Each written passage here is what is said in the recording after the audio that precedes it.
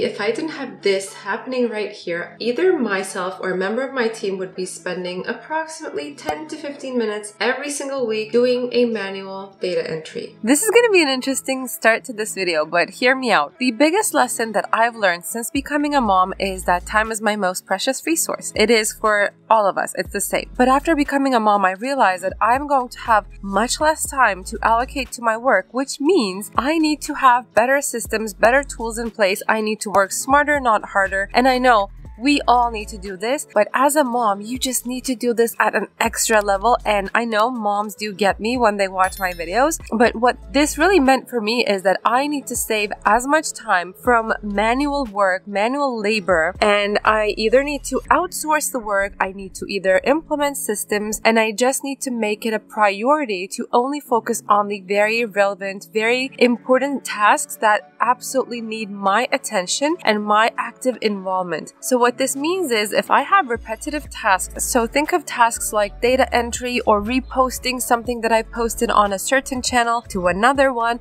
or that type of thing. So some tasks can be outsourced to another person, but there are some other ones that are repetitive tasks that don't really require anyone to be actively involved and working on it, and they can be automatically run or be managed by the amazing technology that we have today. So clearly there's an abundance of productivity hacks and tips on the market market, everyone talks about how to be more productive, how they're having the most productive day in the world. But there's this other thing that we could be doing and that I feel not many people really talk about it. And that's automation in business. That's exactly what this video is going to be about. I'll be talking to you about Integromat, a business automation tool that I've started using recently. And so far, I'm finding a lot of benefit in using it. And I'm sure that once I get to use it more and more in the long run, I'm going to find even more benefits because I'll figure out other tasks that I I could have automated and haven't even thought about it before. And this video is kindly sponsored by my friends at Integromat. But as you know, whenever I do reviews, it's always my honest opinion. So I talk about the benefits, the futures, and the review in general. But I also talk about the negative sides of using this tool or my suggestions or feedback or things that make it challenging to use for different levels of users. So I'll be talking about all of those things, but eventually I think you'll get a lot of benefit from this video because you'll realize that business automation is really something very simple to implement into your business processes or even life as well. I mean, you could really hack your life through this too. It can really simplify a lot of tasks for you. It can really take off the lift from your shoulders. So without further ado, let's just skip to my screen and I will start sharing my review with you. All right, welcome to my screen and we're looking at my Integromat dashboard right now. What I'd like to show you primarily is that you can either start to build scenarios from scratch. So if you already know what type of scenario or what type of integration can really save you time, then you can go ahead and create a new scenario from scratch and you can take a look at all the different integrations Integromat has with different tools that you may be using for your business. Scroll through and see all the different tools that really apply to you and that you think you could create integrations or create scenarios from. So this is one option. However, when I'm working with any type of tool, I like to instead go to templates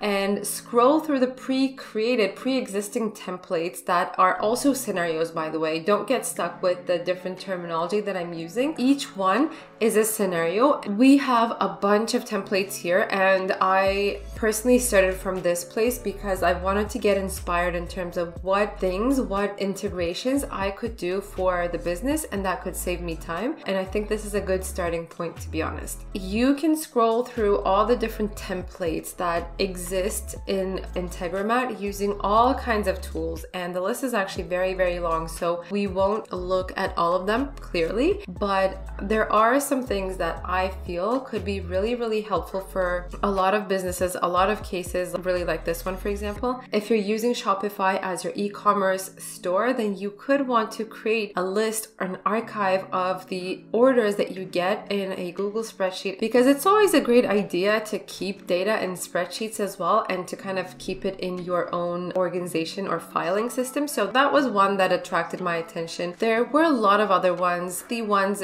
that connect the project management tools with Google Calendar or Slack, those were also a couple of my favorites as well. So there were a couple that use Asana or Trello. For example, every time you create a Trello item in a board, it can automatically create a Google Calendar, a reminder, or an event for you, and many, many different options. So if you feel that this could be something interesting to you, then I definitely recommend starting to check out the different integrations and see if you're actually using the tools that you could integrate within Integromat and make your life easier. And once you take a look at the integrations and once you feel that this could be really beneficial for your business, then what I suggest doing is to start a free trial. There's actually a free plan that you can continue forever, so you can just stay on the free plan if that appeals for you, and we'll have the details on the screen right here. But if you think that's good enough for you, then you can forever stay on the free plan. If you want to see more features, I think the standard plan is a better one, and in that case, I will actually leave a link in the description box and the comment section below for you to have a free one month trial of the standard plan, which I think is a really good option, by the way. So if this seems like something interesting to you, I highly recommend checking out the link and signing up for a free trial for the standard plan. So now I want to take a look at the scenarios that I've already built for myself. So this one, I actually really love this one because this has been something that uh, really doesn't need my attention or really doesn't need anyone's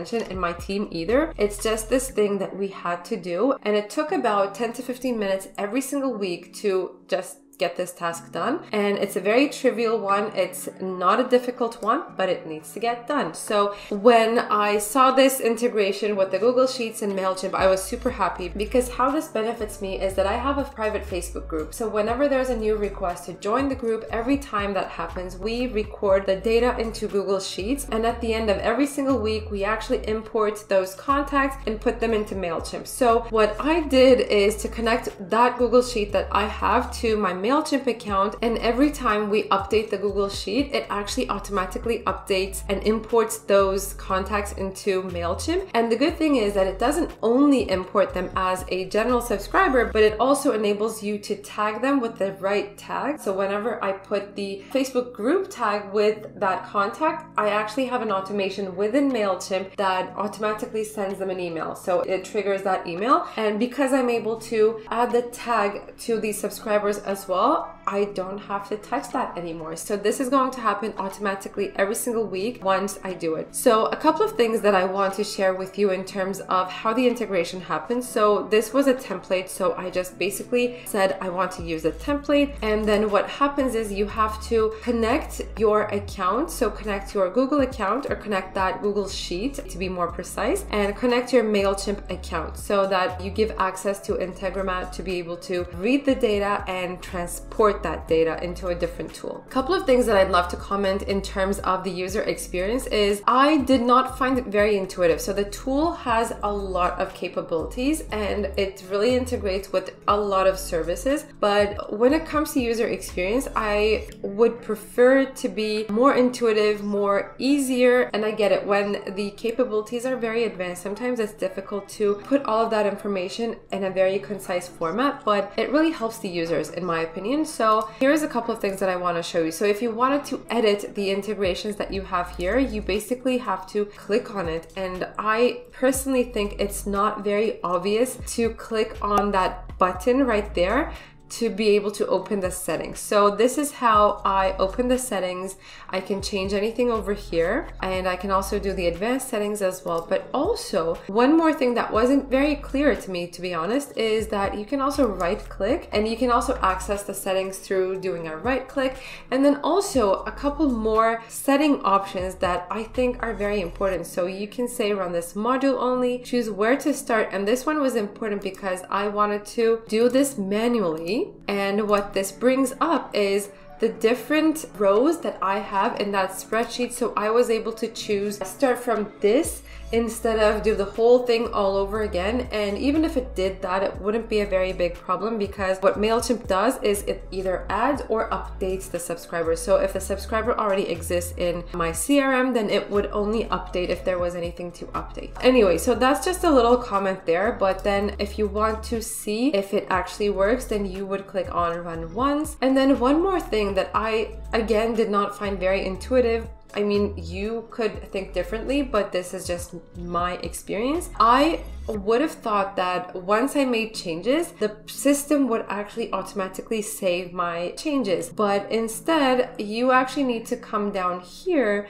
and similar to a Word document or a presentation in the old days, you kind of have to click save. So unless you click save, it does not save your changes. So you need to do this and then you also make sure that this is on. Before I've done this, it was actually like this, so you would see the off button. So you just need to turn this toggle on and make it on. That's a couple of like, I guess, feedback or suggestions in terms of the user experience there. Hey guys, this is Elif from a couple days later. I wanted to show you something. So I received a couple of emails from Integromat saying that I've encountered an error in creating MailChimp subscribers from the Google Sheets that I showed you. So I went into what happened and I I realized that I needed to actually pay attention to something important and I want to show you this as well. So I went into Integromat to see where exactly the scenario went wrong or where I made the error. And what happens is after three consecutive errors, the scenario actually deactivates itself. So I went into the scenario, saw the error, and the error is actually that I haven't selected update existing subscribers in the MailChimp settings area. So that's what I needed to do. And I'm gonna gonna show you how to do that and so that you also pay attention to this. The thing is that um, the settings are very advanced. Like there are many, many options. And in case you skip to uh, make that setting, like to actually uh, set it right for yourself, then